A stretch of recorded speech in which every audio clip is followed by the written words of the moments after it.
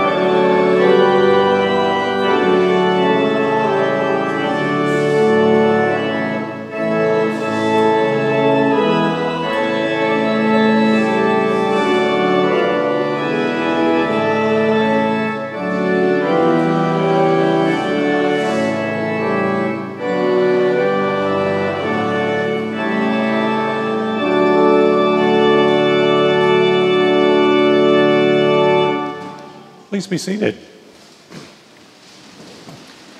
I'm Paul McLean, Associate Rector here at Calvary, and on behalf of the uh, people and clergy, welcome to uh, the 101st year of the Lenten Preaching Series. We're delighted that you're here. And a reminder, too, to please silence any your phones or any devices.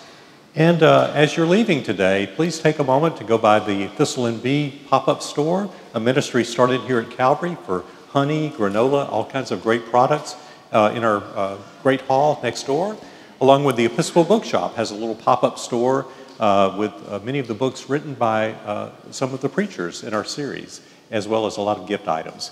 And then, uh, if you haven't done so already, make your way downstairs to the Waffle Shop, which is a, a citywide reunion every day. Only one of the few places in town where I think you can get turnip greens and pork belly with a side of waffles. We're delighted to have as our speaker today George Robertson, senior pastor of, of, Second Presbyterian Church. I got to know George through the Memphis Christian Pastors Network, where he's been a leader. And this was a group formed to bring about racial reconciliation and healing in our city. And uh, he's been very instrumental in helping that come about and, and, and, takes that very seriously as part of his ministry. George also, uh, following the death of Eliza Fletcher, George and Second Presbyterian Church were really a pastoral ministry both to this congregation that was so affected here at Calvary and to our whole city. And George, we're so grateful for that. You've been a pastoral presence in a lot of ways. You're a pastoral presence to us as fellow pastors, and we're grateful for your collegial way about you. We're delighted that George is preaching today, and he'll deliver his message after our centering music and our scripture reading.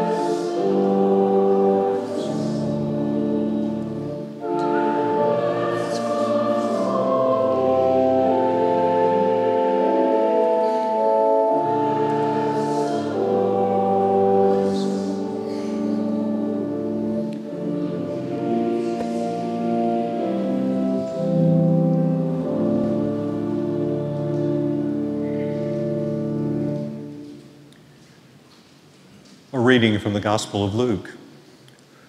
One day, Jesus was teaching, and Pharisees and teachers of the law were sitting there. They had come from every village of Galilee and from Judea and Jerusalem, and the power of the Lord was with Jesus to heal the sick. Some men came carrying a paralyzed man on a mat and tried to take him into the house to lay him before Jesus. When they could not find a way to do this because of the crowd, they went up on the roof and lowered him on his mat through the tiles into the middle of the crowd, right in front of Jesus. When Jesus saw their faith, he said, Friend, your sins are forgiven. The Pharisees and teachers of the law began thinking to themselves, Who is this fellow who speaks blasphemy? Who can forgive sins but God alone? Jesus knew what they were thinking and asked, Why are you thinking these things in your hearts?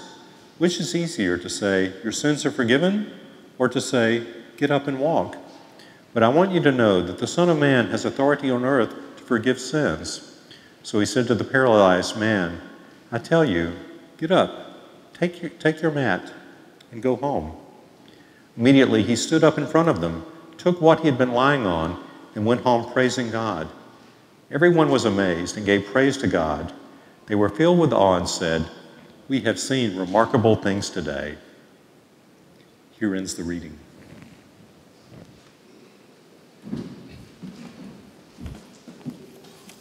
It is a real honor to be here and to be among so many good friends. I see familiar faces all over the place. And my, my wife and I were here Friday to hear Tom Shadyac, and uh, he, he only used 25 of his allotted uh, 30 uh, cuss words. And so I asked if five could go forward, but I'm not going to get anywhere near that. I see too many of my people here but I am really honored to be among you. You know, we have a lot in common as uh, Presbyterians and Episcopalians. Uh, we, we both trace our history to the British Isles. We like thing, all things British. Uh, we have similar, uh, we eat British food. We, we prefer haggis over the fish pudding, but the, we have similar tastes we plagiarized your 39 articles. We took the 39 articles of the Pesca Anglican Church and we plagiarized them and turned them into the Westminster Confession of Faith. So I, I really think I really think there's not much difference between Episcopalians and Presbyterians. In fact, I, I say that uh, an Episcopalian is just a Presbyterian who can read. so I'm glad Scott did the read. I mean, uh, Paul did the reading for us today from Luke chapter five. This man, this, this poor, isolated, lonely, paralyzed man, taken by his friends and laid at the feet of Jesus for healing. The Surgeon General of our current Surgeon General, Vivek uh, Murthy, uh, just released last year in September his, his uh, report on the epidemic of loneliness and isolation. I think it'll turn out to be a legacy achievement. It's a very, very important, helpful, startling, bracing report. I'd urge you to read it. He says early on in the report that half of Americans report being isolated or lonely or just not belonging. Half. And then he, he goes through the rest of the report report tracing the social and uh, health uh, uh, re- results uh, among the American population.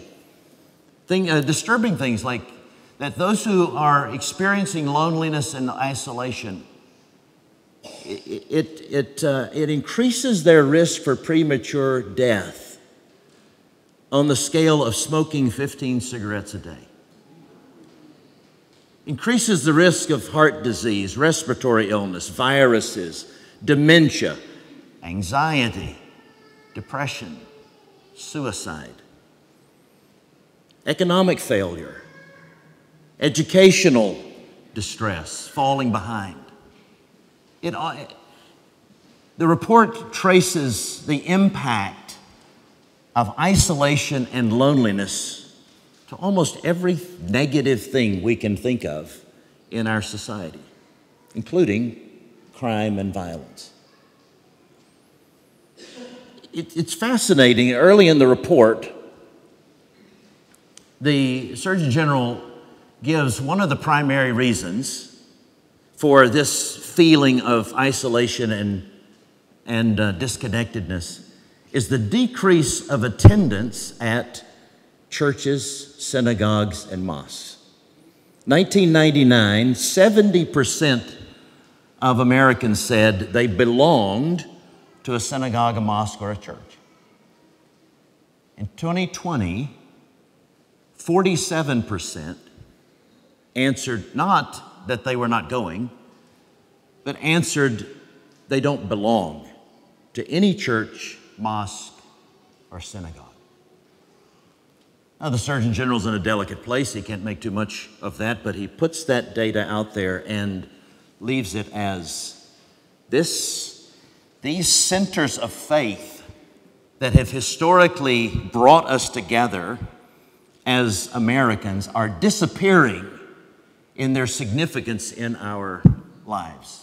In Protestantism, we talk about de churching, but there's apparently de mosquing and de synagoguing too and it's killing us. What's the answer? Uh, the answer from this text I'm a Christian preacher, I'm, I'm speaking in a Christian service, and uh, there are a number of, of my people here. So, my first obligation in my conscience is to apply this to us first because our Lord tells us to take the log out of our eye before we start messing around with the speck in somebody else's. And the log in our eye is that we have quit caring as much as we should of, of, of finding that isolated, lonely person, going toward them, picking them up by faith, and taking them to our Jesus. In our tradition, we believe that bring someone to Jesus, he builds a personal relationship with them. He restores them to their relationship with a heavenly Father, their creator, forgives their sins, starts the process of healing them from the inside out, and eventuates into their total healing in a resurrection body in the world to come. I think there's also an application for us as a community, too. So I'm preaching or speaking not just as a, as a, as a Christian preacher, but as a community leader. And, and I, want you to, I want you to think about, I want you to think about Memphis as the paralyzed man on the mat. Not just an individual, but the city of Memphis and all of her inhabitants and citizens, and ask yourself where can you grab a corner? And where can you, where do you need to cut some holes in walls in order to bring healing? Remarkable healing, as this text ends with, extraordinary healing. Where can we grab a corner and where can we cut some holes in walls that would bring remarkable people to Memphis? We, we're all over the map here theologically. This is an eclectic gathering. It's wonderful. But the one thing that unites us, I am almost certain today, is that we love Memphis. I was here Friday. Tom Shadyac was leading us in chants and cheers for Memphis, right? How can we love Memphis and bring remarkable healing? I think it's going to take cutting some holes in some walls, kicking down some doors overcoming some obstacles. And as you would expect from a Protestant preacher, three obstacles. No poem. The first obstacle that we, we find in this passage to this man's getting to healing, getting, in my tradition, to Jesus Christ for his healing. But the first obstacle is religiosity. You, you heard uh, what Paul read about uh, these leaders, these religious leaders who uh, were sitting around Jesus. They'd made an effort to be there. In the paragraph before, we've, we've, we see Jesus is now he's attracting so much attention, crowds are starting to, to press on him. So he's in the habit of going to desolate places. And then the next sentence is, in one of those places. One of those desolate places, these religious leaders find him. They get the front row seats, and they're not there to learn anything, they're, lear- they're there to catch him, to criticize him, ultimately to kill him, because he's disturbing their religious business. Any of us can be in the religious business which is preserving our little empire, wanting the status quo at almost any cost, anything it takes just to keep the status quo, to keep our places of power, influence, uh, income, at the expense of true compassion. So these religious leaders, you could say the pastors of this man, were blocking him from getting to this teacher who offered some hope of healing. What is the, what is the battering ram to get through this obstacle? What is the saw by which we could cut a hole? These, uh, these, these friends saw those religious leaders there and other obstacles, and they didn't say, Sorry, pal, we tried. They said, we gotta, There got to be another way. Crawl up on the roof, cut a hole in the roof, lower him down right in front of Jesus. And notice that they didn't wait until he became worthy of it. The text doesn't tell us, you know, there was a very faithful man. He was a really religious guy, but he just couldn't get to the holy services. It doesn't say anything about his faith. In fact, the, the, the, the, passage never says anything about his faith. These friends went to get him. They grabbed a corner, they put him on a pallet. They cut a hole in the roof, they're lowering him down, and Jesus saw their faith. Maybe he didn't have any. Maybe he had lost his hope.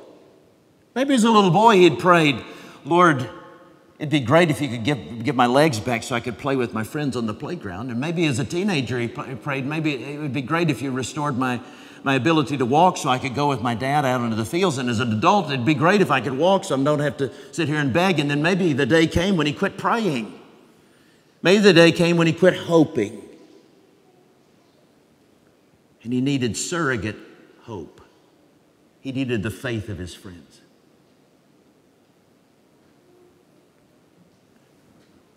The application for Jesus followers, and I tend to make that distinction between Jesus followers and Christians because there, there's a young girl in my church told her parents a few weeks ago, you know, I think I would really be buds with Jesus. I like him a lot. It's the Christians I can't stand.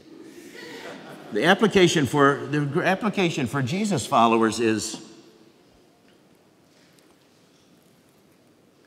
by faith.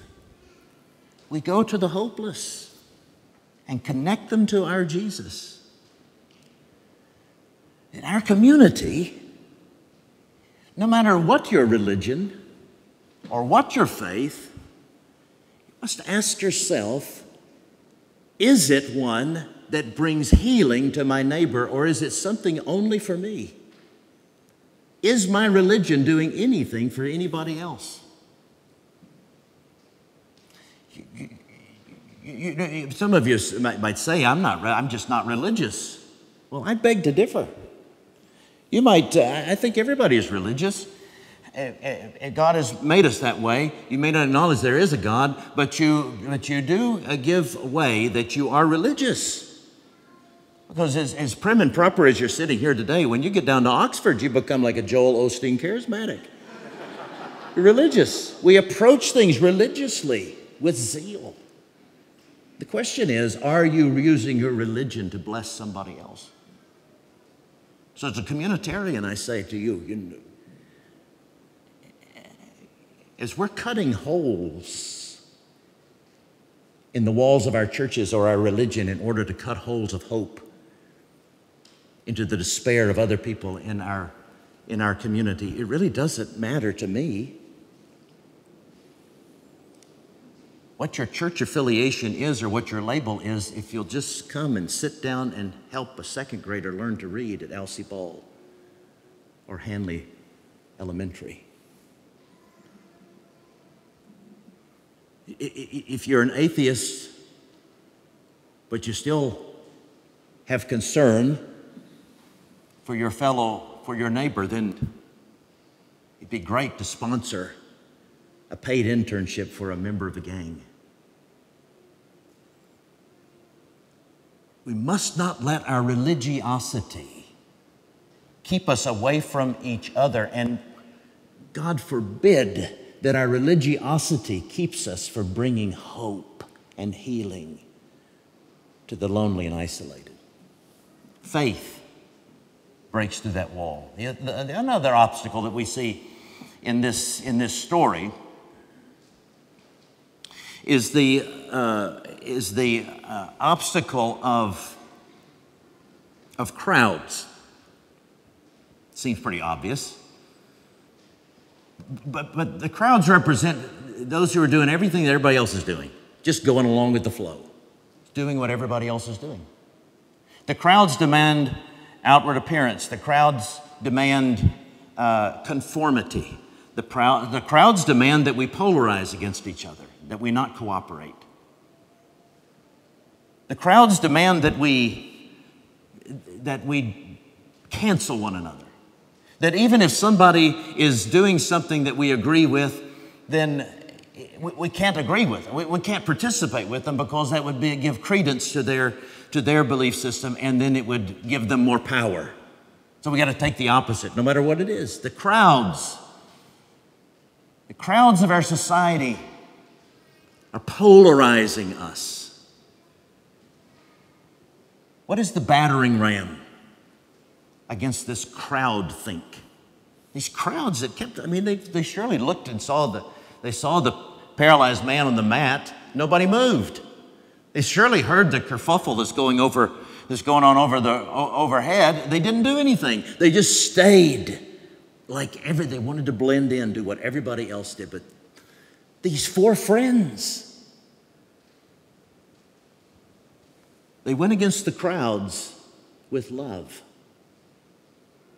They loved their friends so much, they were willing to think way outside the box and cut a hole in the box to get their friend to Jesus' feet. Just after the George Floyd tragedy in our country and riots and protests and violence and polarization occurring all over the country, I got a call from a, a, a major uh, American journal. And uh, they said, Somebody told us we should call you because we're here in our, our uh, editorial offices and we're, we're looking across the country and we're noting all the hot spots in the country where the the violence, the protests, and marches are occurring, and we, we keep looking back at Memphis, and it never lights up. As far as we can tell, there hasn't been a violent protest yet, and we've been poking around trying to figure that out, and somebody told us to call you, that you might know why that is. Why isn't Memphis blowing up? That was their question. And I said, Well, you did call a preacher, so you're going to get a preacher sounding answer. But I, it's real, and I invite you to call some other people. I gave them other numbers. People have a lot more to do with it than I do. But I said, The simple answer is love. There is something shared here in the community of faith across denominations and across religions that I have never experienced anywhere in my ministry before. We are real friends. And we, we show up at the same things together to do things that bring healing to our community. And we've yet to have a theological discussion. It's not because we're opposed to it, we just don't have time for it. So when Paul and I show up at the same place, or Scott and I show up at the same place, or Scott Morris and I show up at the same place, or Micah Greenstein and I show up at the same place, or Anwar Arafat and I show up at the same. We know we have different theological systems. And we're not going to convert each other. But we love each other.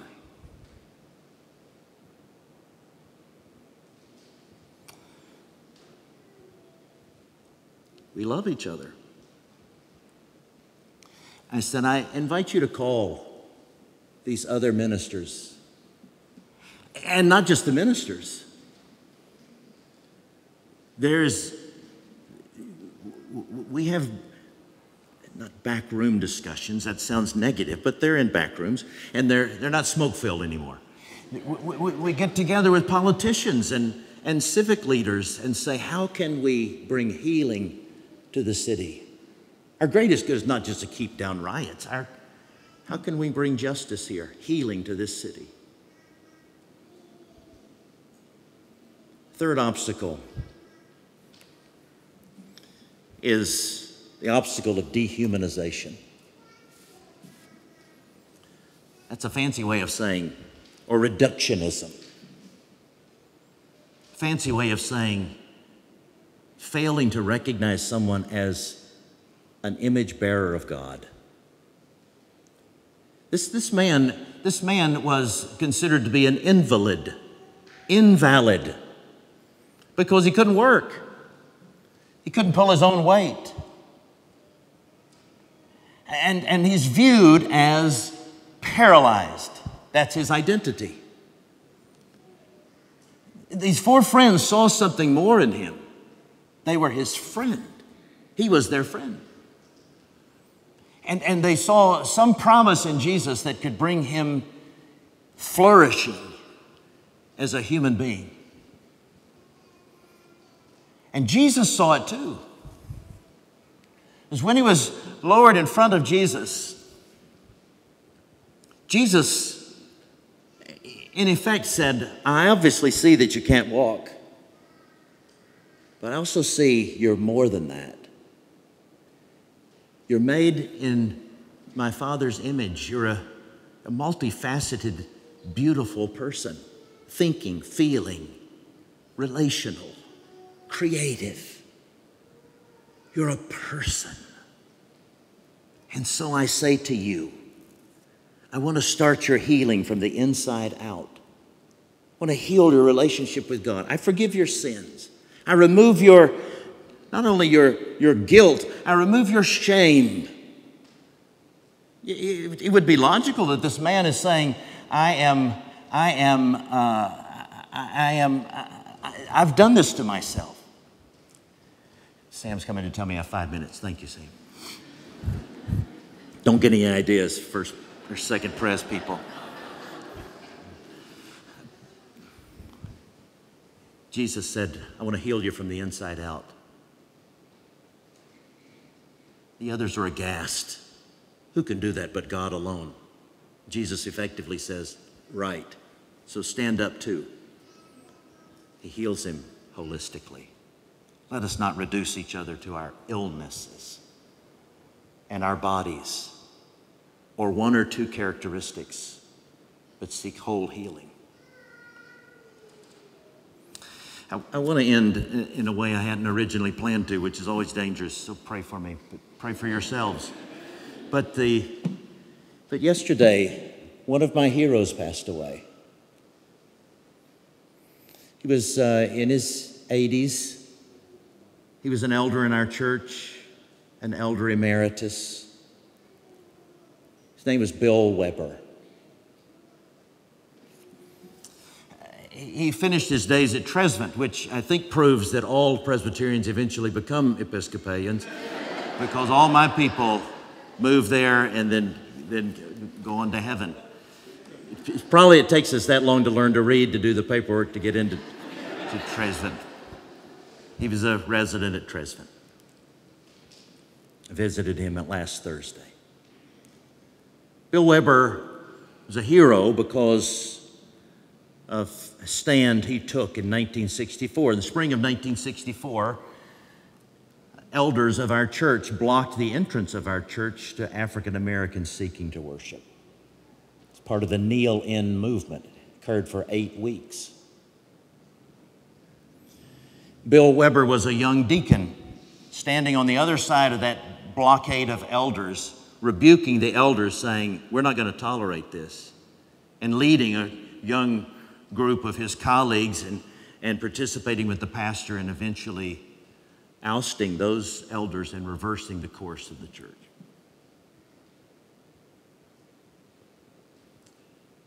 Another friend, another hero, Lillian Hammond. Lillian was one of the first to befriend me when I moved to, to Memphis. And Lillian was one of those students who was blocked from the door of the church. She and Bill Weber were within feet of each other. She kneeling on the steps in quiet, uh, quiet protest against the, the policies, and Bill on the other side rebuking his fellow elder. They didn't know each other, just feet away. Eventually, that stronghold was broken, and we, we have been repenting ever since, and, and, and repenting in order to turn toward living and, and, and reflecting the complexion of heaven in our, in our sanctuary. And my predecessor led a public repentance uh, for that shameful, that shameful past, and Lillian showed up, and Lillian forgave us. In September last year, we dedicated our new organ uh, rebuilt organ. Nobody stole our pipes. and that dedication was, was led by our new organist, Leo Davis. Choir was led by our choir director, Calvin Ellis, both who act, happened to be African American. I was sitting on the, on, on the uh, platform uh, getting ready for the for the, uh, the, the, the dedication service to begin, and I, I, frankly didn't have the greatest attitude about it. It was uh, going to be a long night. I'm sorry about that. This is Lent, but I I did look before I stood up at our choir, which was majority African American. Then I stood up to sing the first hymn, and the congregation stood up the first time I'd seen them from where I was sitting. And it was almost exactly half white, half black. Time stood still for me as I looked around the room, and then I saw Bill Weber in his wheelchair and Lillian Hammond on her cane. And I acknowledge publicly to Lillian look at what you've done. Look at the healing you've brought in this city, in this church. I was standing in Memphis. I was standing in a church that looked like Memphis. I was witness to a miracle no different, not any less spectacular than this paralyzed man getting up off of his mat. And I saw two warriors who just decided there was a sickness in their city. It was focused in that church. And they moved toward that sickness together from different worlds, just feet apart, but they each grabbed a corner and they each cut a hole in their own way. Last Thursday, I went to visit him at Trezevant. And I knocked on the door, and as I was waiting for his wife to open the door, I turned around to think, who else do I know who lives across this, the hallway from them? Can you guess who it was? Is? Lillian Hammond. Two old warriors. Don't tell her I said old. Two Old warriors. Finishing their days together. Rejoicing at the fruit of their labors. It's remarkable.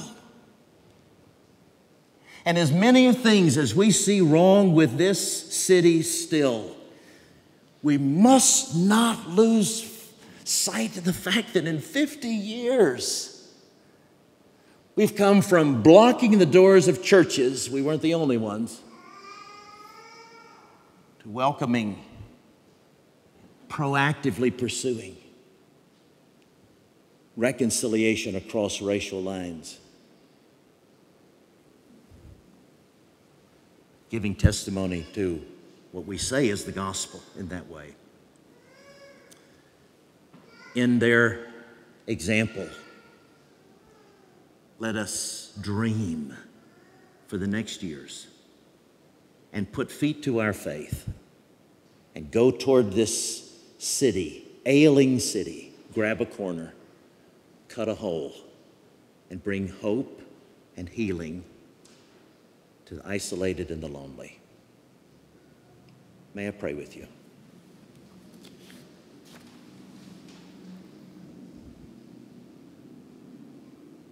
Lord Jesus, thank you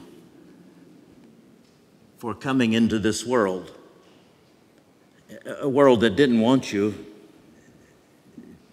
a world that was opposed to you, loving so much that you would die for our sins.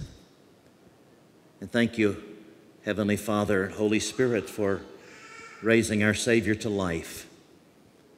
And we beg you to cause the life of Jesus to pulse through the veins of Jesus' followers. Then I pray for all my friends here and this city you would have mercy on us and you would bring to this city the shalom of God, the holistic healing peace of God, and make us agents of it. In Jesus' name, amen.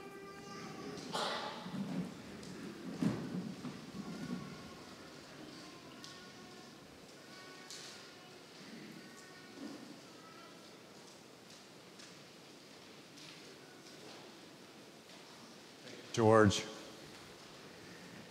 George will be here at the front steps if you'd like to greet him as you go. As a people who grab corners and cut holes, let us bless the Lord. Thanks.